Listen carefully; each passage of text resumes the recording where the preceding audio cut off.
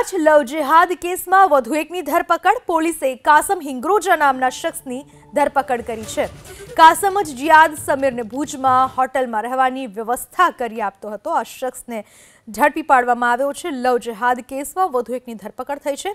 હિંગોરજા નામના શખ્સની ધરપકડ કરાઈ છે અને આજે કાસમ હિંગોરજા હતો તે જિયાદ સમીરને ભુજના હોટલમાં રહેવાની વ્યવસ્થા કરી આપતો હતો કચ્છ લવ જેહાદ કેસમાં વધુ એકની ધરપકડ પોલીસે કાસમ હિંગ્રોજા નામના શખ્સની ધરપકડ કરી છે કાસમ જ જિયાદ સમીરને ભુજમાં હોટલમાં રહેવાની વ્યવસ્થા કરી આપતો હતો આ શખ્સને ઝડપી પાડવામાં આવ્યો છે લવ જેહાદ કેસમાં વધુ એકની ધરપકડ થઈ છે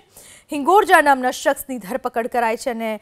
આજે કાસમ હિંગોરજા હતો તે જિયાદ સમીરને ભુજના હોટલમાં રહેવાની વ્યવસ્થા કરી આપતો હતો